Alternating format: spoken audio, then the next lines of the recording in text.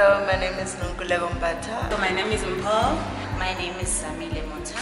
My name is Homelingo. My name is Maki Monakotla. Oh, my name is Lindy Vesilia.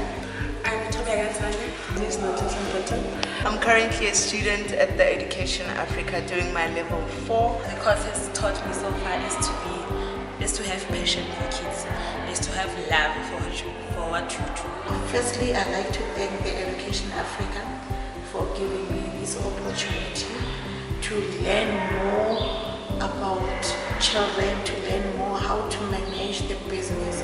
So when I came here, I got more practical, how to observe children, how to record and do all that stuff. I've learned a lot. I've learned how to make toys with recyclable materials. I've learned how to how to observe and record. It has taught me a lot about a child, that the child comes first.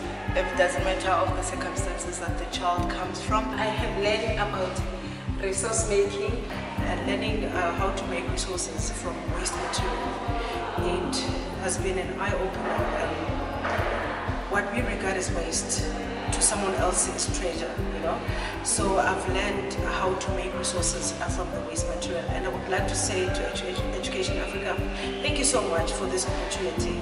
Um, we get to expose our kids to different activities. So with all that knowledge, it's all from Education Africa. So I'm really happy and I am what I am today with enthusiasm to